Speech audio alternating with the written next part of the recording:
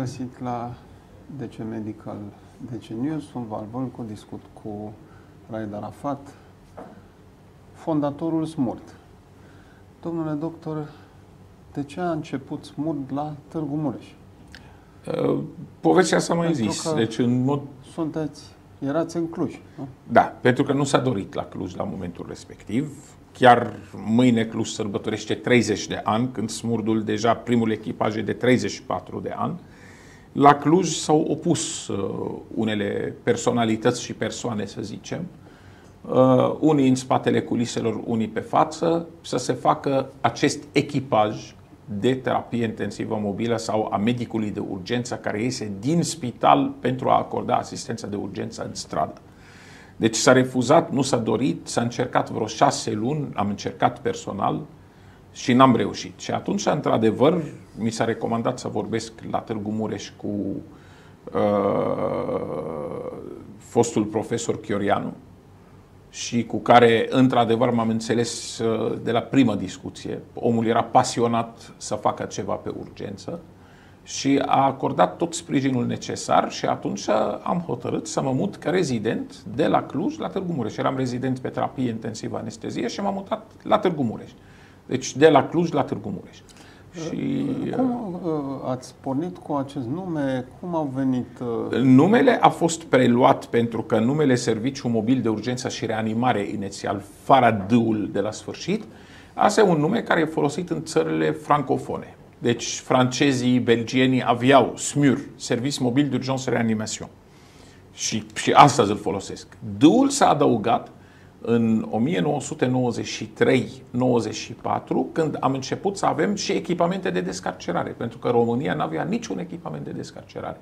Și atunci când am primit primele donații și primele echipamente de descarcerare în anul 93, din partea scoțienilor, dar s-au primit și din partea uh, engleză în Oradea, s-a primit în, din Germania la Sibiu. Deci când au venit echipamente de descarcerare, propunerea fostului comandant al pompierilor atunci, al domnului general Crăciun, îmi zice, domnul doctor, păi acum este smurd, nu mai e smurd, că avem și descarcerare. Și așa a rămas. Și până, până atunci, uh, să spunem că prima Dacia a fost prin 67, uh, 68 uh, produsă. Cum, uh, deci aveam și producție locală pe lângă mașinile de import. Cum uh, erau desfăcute după accident? Fără la utilaje accidente de- fără echipamentele de descarcerare, în primii ani, credeți-mă că le legam de tractoare și le trageam în ambele, deci în ambele părți ca să putem să, Ca o pe de, Ion să Vodă deblocăm. de Exact. Cămilă, da. Au fost situații în care uh, erau decedați, încarcerați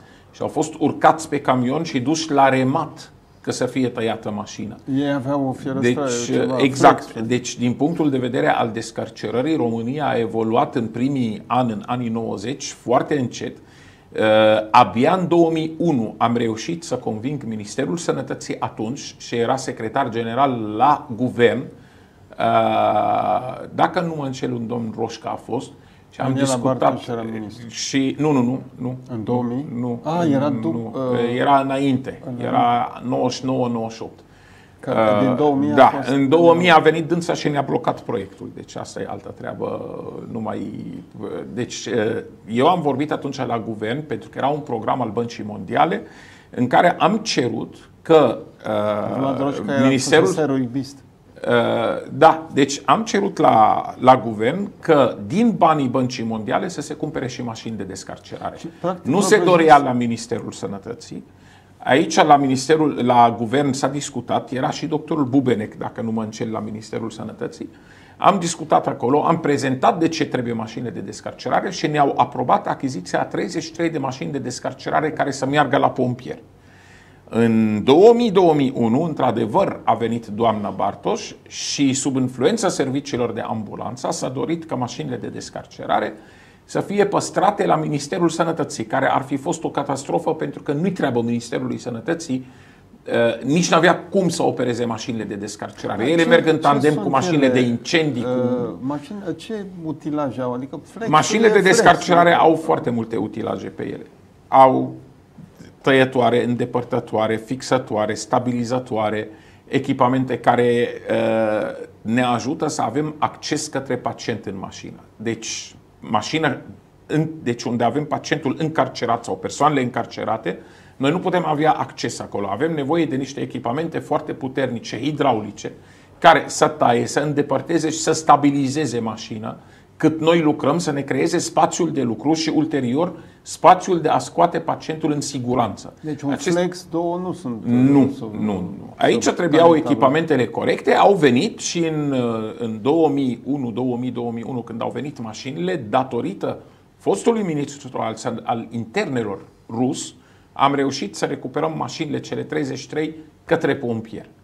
Acolo erau prevăzute și un număr de ambulanțe că să pornească smurdul. Nu s-a reușit, numai Mureșul a primit ambulanțele respective.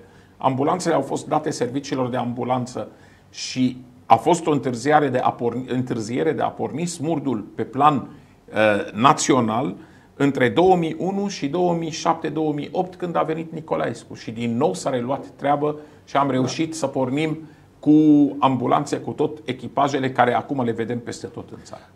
De ce v-au ajutat cavalerii de Malta? Cum știau ei? Cavalerii de, de Malta, deci uh, fiecare... Adică erați un medic rezident, erau cât, da, câți aveam fiecare, atunci? fiecare, nu pe mine m-au ajutat. Sute. Deci că să înțelegem, fiecare județ a avut relațiile lui.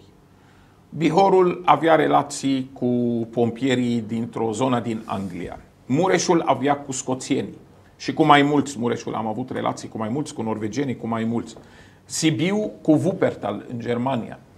Uh, Clujul avea relație cu Köln. La Köln, că și, că și sistem de urgență în Germania, sistemul de urgență are pompierii, dar are și câteva organizații non-guvernamentale care lucrează în sistem. Printre aceste organizații este Cavalerii de Malta, Maltese Hilfsdienst. Uh, un om de, ei erau foarte implicați în Cluj. În momentul în care a fost refuzat sistemul la Cluj, cam patru ani a durat, până în 94, când Clujul s-a sesizat că e bine totuși să avem ce s-a făcut la Mureș și ce, ce s-a pierdut de la Cluj. Și atunci trebuiau mașini, trebuiau echipamente, trebuia susținere, era pe consumabile, pe tot, că să lucrezi în strada la nivel, într-adevăr, cum doream noi. Și aici s-au implicat cavalerii de Malta din Germania, plus ajutorul maltez din România, care era nou înființat, și au început să sprijine uh, pompierii din Cluj și unitatea de primiri urgență din Cluj, cât era atunci camerele de gardă, șase la începuturile lor, încă nu era UPU la Cluj în, în sensul respectiv, și au început să sprijine pompierii să înființeze uh, primul echipaj. Și a evoluat Clujul foarte bine după asta. Uh, mâine sărbătorim, cum am zis, 30 de, de ani, dar smurdul, primul echipaj în țară, e de 34 de ani. Aceste patru ani, diferența la Cluj, au fost decise de niște sindicaliști, de niște persoane care n-au dorit să vadă schimbarea la Cluj. Norocul României, a zice eu chiar, că am avut oameni deschiși la minte atunci nu numai în Mureș și pe plan național, care au sprijinit și au permis ca acest sistem să evolueze. Da, e o concurență între ambulanță și SMUR. Ce poate face SMUR și nu putea face nu este, clasic? Nu este concurență și asta trebuie să scoatem din capul din start că există o concurență, există complementaritate. Concurența este doar în capul câtorva persoane care încă au influență și care încet, încet eu sper că se va înțelege că uh, nu se face concurență pe viața pacientului. Noi pe viața pacientului trebuie să facem complementaritate și să sprijinim cât mai mult. Sistemul este gândit de când s-a scris și legea sănătății în etape, este multiple tier system, cum se spune, sistem pe etape înseamnă, ce înseamnă că n-am echipaje toate la fel, și am echipaje de prim ajutor, am echipaj cu asistent, cu medic care are competența de 6 luni și am echipaje cu medici de urgență de 5 ani cum sunt echipajele de elicoptere și echipajele de terapie intensivă mobilă de la SMURD. E, fiecare echipaj are rolul lui. Noi avem cazuri multe și chiar recent cazuri care primul echipaj sosit care era de pompieri, de paramedici, a defibrilat omul și l-a salvat viața. Deci faptul că au ajuns cu defibrilatorul și au defibrilat, faptul că știu cum să imobilizeze, cum să resusciteze, cum să intervină la accidente, cum să intervină la cazuri medicale și au fost instruiți în acest sens, sunt parte din, din sistem. Dacă aș lua numărul acestor echipaje de la pompieri, care sunt vreo 400 pe țară, și l-aș opri, pe zi ele fac cam 1500-2000 de intervenții și fac intervenții în cea mai mare parte a lor de cod roșu și de cod galben. Ce înseamnă? Că ce am asistat la el noi în ultimii ani, sosire rapidă, reacție rapidă, automat când ai sunat, vezi mașinile că vin și tot, o să fie impactat pentru că serviciile de ambulanță n-au cum să preia singure această diferență de cazuri la ele. În același timp, trebuie să spunem clar că pregătirea personalului care s-a făcut paramedical este foarte protocolizată, foarte bine construită și de aici au venit și rezultatele cu ei pe resuscitarea cardiopulmonară, unde vorbim de rata resuscitării în prespital la smurt de 15% și care este ceva mai mare decât la ambulanța asta. Nu sunt datele care le spune doctorul Arafat, sunt datele luate din statisticile oficiale pe care le avem. Ambulanța merge și la cazuri, să spunem, banale, durere, Asta, normal, colici. dar e normal. Deci aici sunt diferențele între cele două. Ambulanța face, face codul roșu, galben, verde. Smurdul face codul roșu, o parte din codul galben. Nu merge la verde, nu merge la restul, pentru că rolul lui este acest, aceste categorii da, de cod. Ideea de unde a venit? Ce țări au uh, sisteme uh, similare? Ați spus de Franța. Multe. Franța, Germania, Finlanda, Statele Unite are sisteme asemănătoare până la un nivel, ei n-au medicii de urgență pe ambulanțe, au un nivel mai elevat de paramedici pregătiți patru ani la facultate. Uh, deci, uh, sistemul asta, multi-tier system, sistemul pe etape, îl găsiți în foarte multe țări, nu numai europene, nu numai Statele Unite.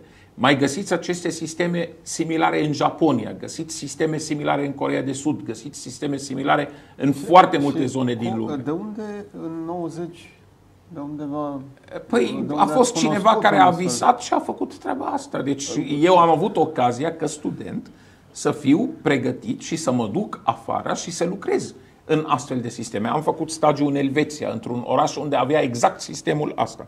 Am făcut stagiu în Germania, am făcut stagii în Franța la începutul anilor 90. Am văzut sistemele astea funcționând și ce am reușit să fac este să evit, discutând cu colegii de acolo, să evit uh, uh, anumite lucruri care ei ziceau că nu trebuiau făcute așa și trebuiau făcute altfel.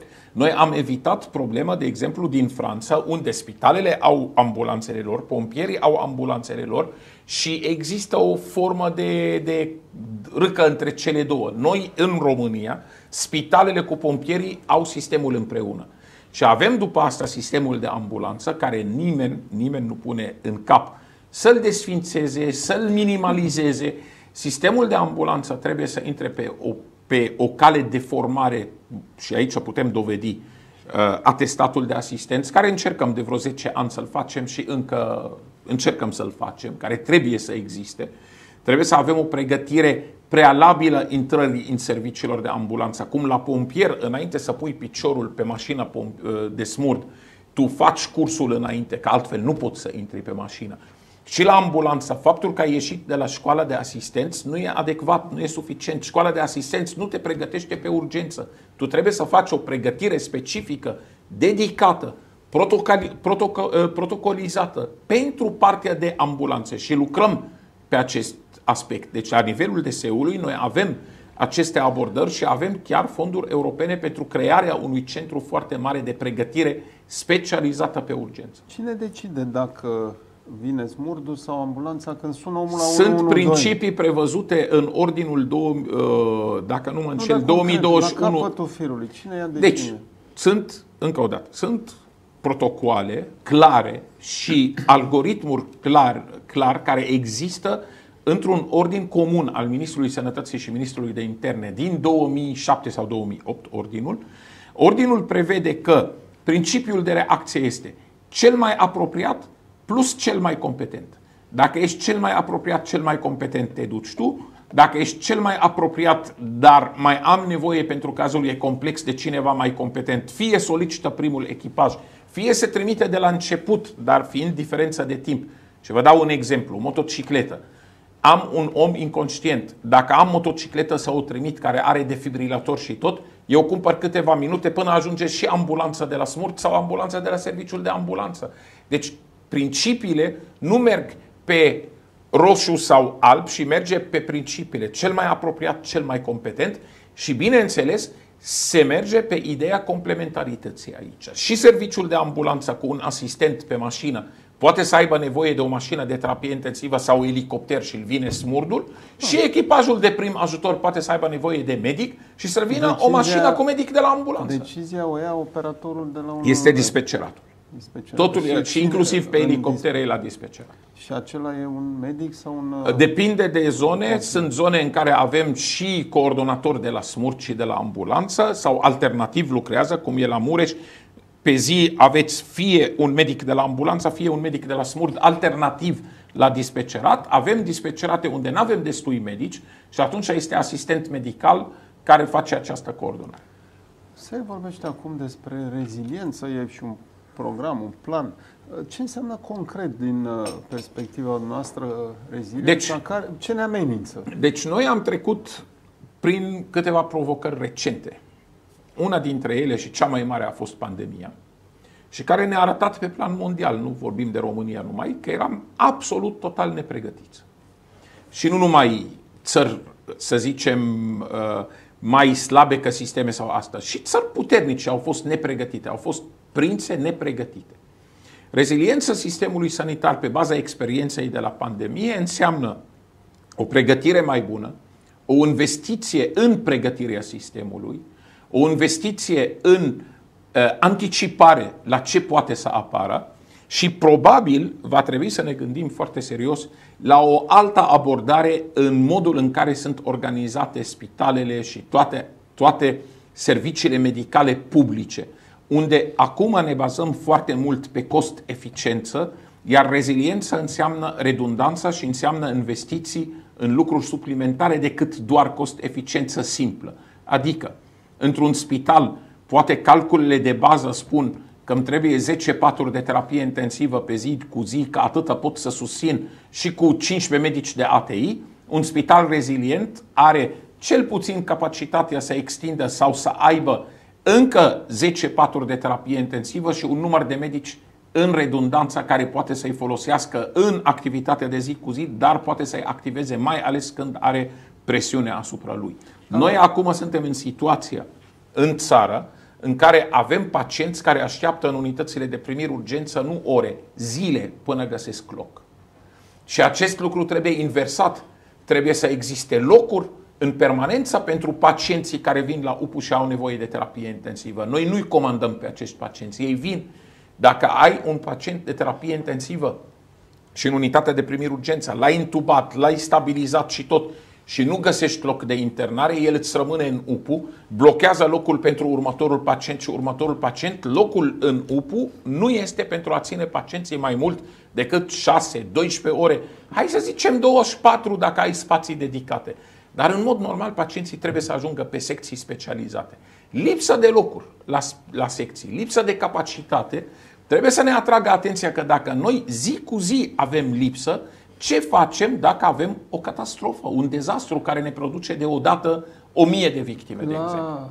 Uh, vorbim și despre cutremur, dar uh, vorbim de noile provocări, dar provocarea căreia tocmai am răspuns. Pandemia. Pandemia e una, uh, dar cum avem... evaluați uh, uh, România, România, s-a adaptat, România s-a adaptat foarte bine pe timpul pandemiei la capacitatea de intervenție. Deci noi am reușit prin mecanismele de a crește paturile de terapie intensivă, de a cumpăra ventilatoare în timpul catastrofei, de a detașa medici și asta a fost partea cea mai grea să, să accepte și să poți detașa medici de la un loc la altul, să acoperi lipsa de medici în spitalele mai mici.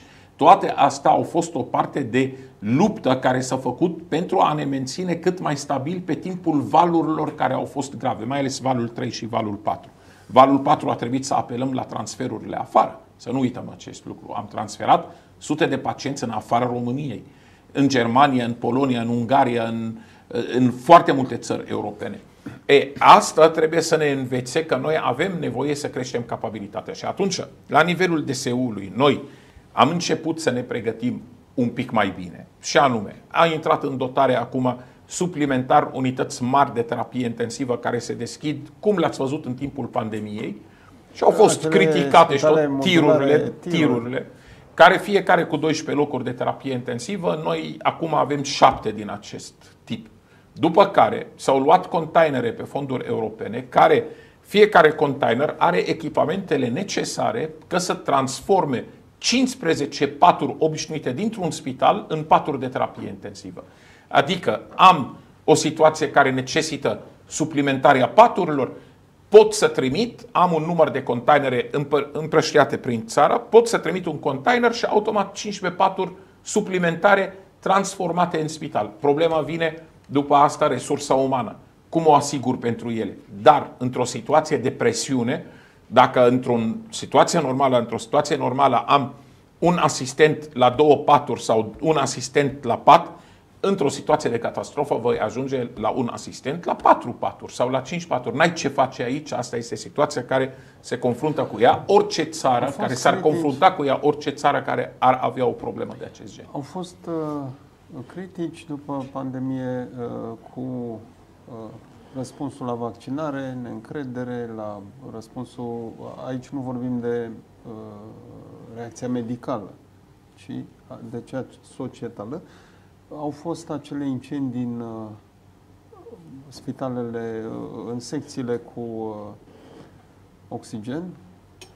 Oxigen deci asta toate au fost situații care au arătat că sistemul mai are mult să fie pregătit mai bine și să se adapteze unor situații de, de ce nu se fac exerciții de alarmă?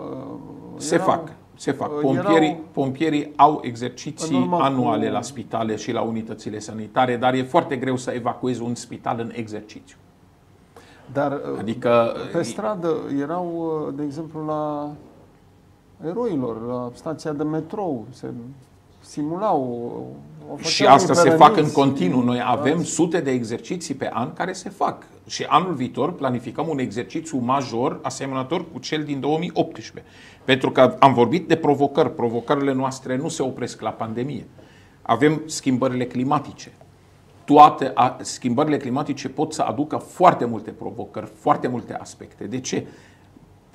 Timp extrem, vreme extremă, inundații, alunecări de teren, persoane deplasate, persoane fără domiciliu rămase și așa mai departe. Asta toate sunt provocări către protecție civilă. Plus, când te surprinde un cod roșu de vreme rea și nu ești protejat și devii victima acestui cod, să zicem. Asta este un aspect. După care, cu tremurul, care cu toate că s-au Până făcut la anumite... Cutremur, la inundații intervine uh, SMURD, armata... Intervine IGSU-ul, care este forța de intervenție principală, cu mobilizare din toată țara. Normal, sunt toate structurile DSU-ului, IGSU-ul, aviația Ministerului de Interne, care în coordonarea DSU, uh, serviciile medicale de urgență, ambulanță, SMURD, tot asta au un rol în intervențiile respective. Armata vine în momentul în care în anumite zone neexistând personal suficient sau neexistând anumită tehnică de care am avea nevoie, armata întotdeauna a răspuns cu da și ea este prevăzută ca parte din intervenție, ca forță de sprijin pentru noi. O solicităm, până acum n-am avut de la armată refuzuri să zică că nu venim, ba întotdeauna au fost au alături fost cu cazuri, noi. Uh, au fost cazuri în care am solicitat armata să intervină cu noi. Și la înzepăziri, A, la și, la, și la inundații, unde au intervenit și au sprijinit și la stingerea incendiilor de pădure. Alt risc care îl vedem peste tot în Europa și care la, până acum România a scăpat de incendii masive de pădure. Dar asta nu înseamnă că va fi tot timpul. Cu cât pădurea îmbătrânește, cu cât pădurea, uh, de exemplu, nu e curățată, nu e întreținută și tot riscul incendiilor devine mai mare. Cu cât temperaturile cresc, secetă uh, se accentuează, riscul incendiilor de pădure este foarte mare. Pentru cutremur, cum ne pregătim în București, uh, care e o zonă seismică, riscul e mare. Deci, în București se va, se va bloca circulația. Cum a, aparatele acelea de descarcerare trebuie să descarcereze primul nu, trafic. Pentru, pentru cutremur, cel puțin pentru intervenție, pentru căutare, salvare, noi avem alte dotări decât echipamentele clasice de descarcerare, care le știți. să ajungeți până la Asta este un aspect, asta e un aspect care este valabil oriunde se întâmplă un cutremur, depinde cât de grav, cât de, uh, cum să spun, uh, cât de mare este impactul Ați fost în lui. Turcia. uh, Au cum fost au colegii. Făcut în Turcia pentru... Au făcut acces în zonele în care trebuie să salveze. Au luat mașinile de pe drum și le-au... Iau mașinile, îndepărtează molozul să poată să ajungă unde sunt clădirile care trebuie să intervină să salveze oamenii de sub dărâmături, dacă sunt oameni vii sau dacă se bănuiește că sunt oameni vii.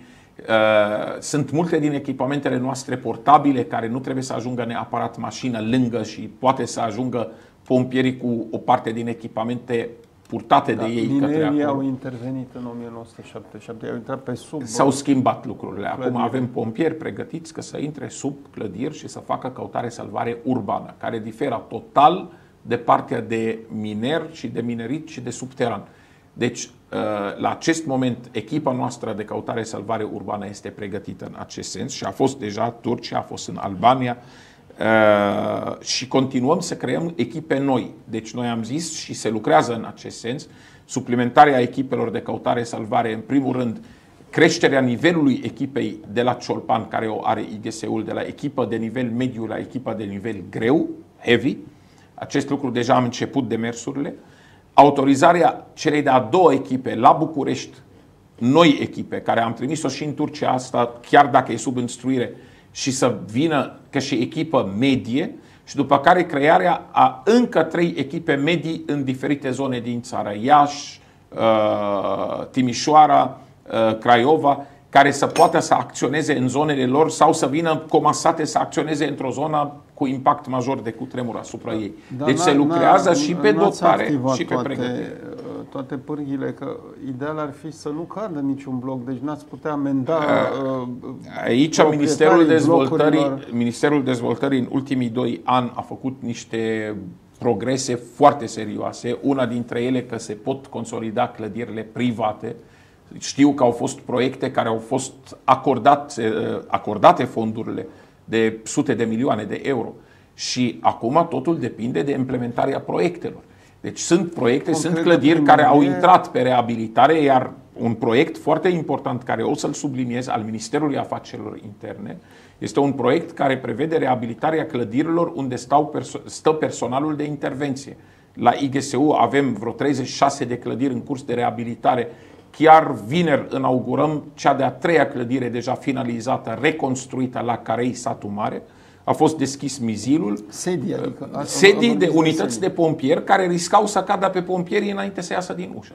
Și asta deja le reabilităm, avem fondurile, ni s-au Când alocat. putem vizita... Uh, O să vă invităm să veniți la inaugurarea secției de la Obor, care e deja pe terminate. Dacă vă duceți aminte, în 2017 am decis închiderea secției de la Obor pentru că era riscul foarte mare pe pompier. Acum, stația de pompier Obor e finalizată mă aproape. Este gândeam în la ultima... muzeul uh, pompierilor, Poftim? uh, turnul pompierilor din uh, capitală. Fusese muzeu, a intrat în Este renovări. muzeu și este în renovare și se finalizează Când? în Asta curând. înțeleg. Se finalizează în curând, în următoarele două, trei luni o să fiți invitați să Foișorul de vedeți. foc. Exact. Bun. Primul ajutor. Uh, Învățăm să facem resuscitare sau sunăm la 112? Sunt păreri aici că dacă se bagă un om nepriceput Nu, și începe manevrele trage de în resuscitare trebuie învățate de oricine. Manevrele de oprire a hemoragiei trebuie învățate de oricine.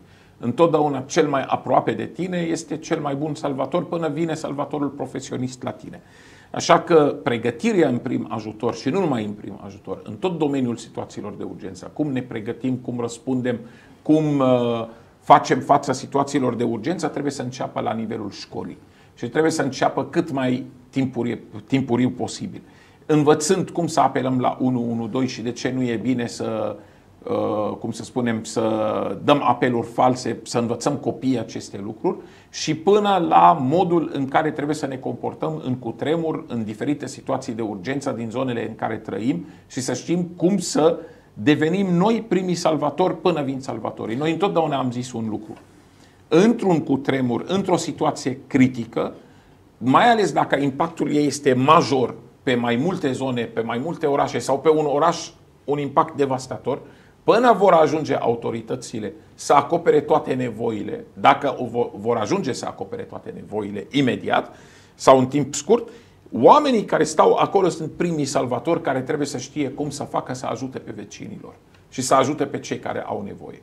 Și acest lucru trebuie să fie înțeles de către noi toți. Fiecare dintre noi este parte din sistemul de urgență și este nu o vulnerabilitate, și este o verigă foarte puternică dacă se pregătește în acest sens. Asta trebuie, mesa, mesajul asta trebuie să ajungă la fiecare cetățean. Dacă veți începe iar pregătirea, erau uh, clipuri uh, Sunt și continuă. la cutremur, se va crea panică. Nu, Vine nu ne mai, acest nu. lucru nu ne mai sperie. Ideea asta că creăm Panica panică, trecem peste, peste ea, pentru că eu, părerea mea este că oamenii sunt foarte bine uh, Uh, pregătiți și educați că să înțeleagă că dacă vine cineva să le explice ce să facă, nu este că să îl panicheze și este că să-l pregătească.